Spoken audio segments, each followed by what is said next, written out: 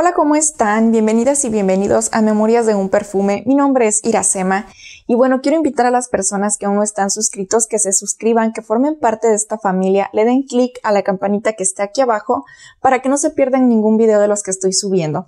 Así que también antes de iniciar quiero compartirles el tono de labial que traigo puesto y es Miss Melon de la marca Mary Kay de la línea Ad Play. Quizá no se alcanza a ver muy bien porque me hace falta iluminación, pero bueno, ya les comparto mi labial que se los voy a dejar en la caja de información. Vamos a iniciar con la reseña de este perfume llamado Scandal by Night de la casa Jean Paul Gaultier. Este perfume viene en esta presentación, si pueden ver ya se le borraron hasta las letras aquí enfrente, pero bueno, en lugar de ser una caja como estamos acostumbrados es un como un bote, muy del estilo de las fragancias de esta casa. Así que este vendría siendo la botella que realmente es muy sencilla. Yo creo que lo que le da el plus de feminidad y sensualidad es la tapa que vienen siendo unas piernitas. Desde la presentación nos están diciendo que es un perfume muy sensual y bastante femenino. Así que bueno, déjenme platicarles que cuando salió el primer escándalo fue un aroma que probé, le di varias oportunidades y no me cautivó como para traerlo conmigo. Sin embargo, en el año 2018 sale este flanker, este Scandal by Night, oriental floral, bomba. Yo así lo he denominado, un perfume bomba. Y realmente desde la primera olida me cautivó. No lo pensé ni dos veces y lo traje conmigo.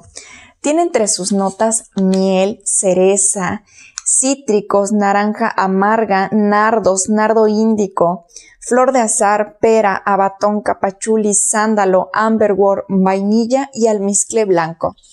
Un perfume donde la miel se percibe de una forma tan real, de verdad me tiene enamorada este perfume, impresionante, el olor a miel tan real como si estuviera oliendo esa miel directamente del panal de las abejas. De verdad que es una dulzura deliciosa. Desde su salida se percibe esa nota dulce de la miel, que esta notita va a estar presente de principio a fin.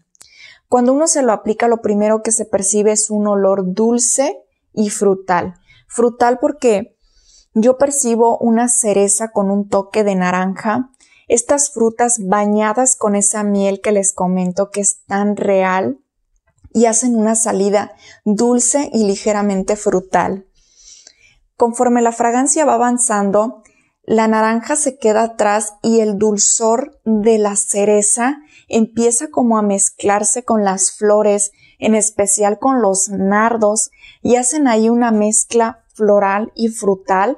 Esta mezcla es tocada por vainilla y abatonca que hacen un desarrollo algo pesado y dulce porque la miel está envolviendo estas flores y frutas, esta vainilla y esta abatonca. Así que ese momento donde la fragancia empieza a desarrollar es cuando se percibe un olor pesadito, muy dulce, bastante intenso y verdaderamente embriagante. Es un olor de verdad delicioso, es un olor magnífico. Me fascina ese olor que proviene de la cereza, que proviene de los nardos y que se mezclan tan perfectamente con esta miel que los baña y esta vainilla que toca esas frutas y esta batonca tan intensa que de verdad hacen un, un desarrollo verdaderamente embriagante. Ya en el secado, este dulzor algo pesadito se ve perfectamente equilibrado por los toques de pachuli y almizcle, que hacen definitivamente una fragancia bomba, seca con un olor dulzón, pero ligeramente atalcadito. Se siente un olor algo atalcadito dulzón, ligeramente floral y atalcado a su vez. Realmente una bomba. Ahí está la miel todo el tiempo, pero ya en este punto de secado está equilibrado por ese pachuli y ese almizcle, que definitivo hacen un olor magnífico. De verdad que es una fragancia que te obliga a vestirte, que te obliga a arreglarte. O si no, es de esas fragancias que te hacen sentir arreglada, sensual y muy elegante. Es de esos perfumes que te lo van a sentir y te van a preguntar qué aroma traes. Tiene una duración magnífica. A mí me ha durado de 10 a 12 horas. Las primeras dos horas lo percibo algo pesadito por ese dulzor y esa intensidad. Ya después de las dos horas se hace una fragancia moderada que bien es perceptible y que bueno yo usaría en momentos especiales para una cena de Navidad, de Año Nuevo, para una cena de cumpleaños o para un evento donde quieras sentirte sensual y a su vez elegante, donde quieras ir y si y quieras eh, ahora sí quedar a notar que traes una fragancia verdaderamente sensual y dulce. Es un perfume dulce, pero no es un dulce paletita Tutsi Pop o no es un dulce pastelito o chochitos, no.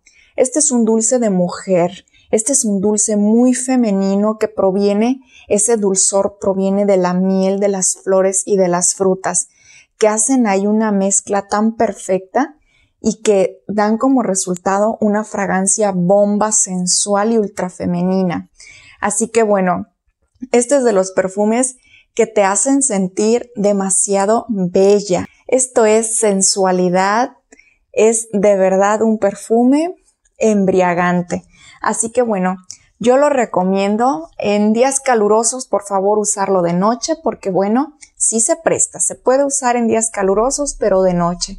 Así que bueno, esta sería la reseña, espero les haya gustado, déjenme aquí abajo sus comentarios, háganme saber si ya lo tienen o les encantaría tenerlo. Y bueno, les mando muchos besos, me despido de ustedes, hasta la próxima.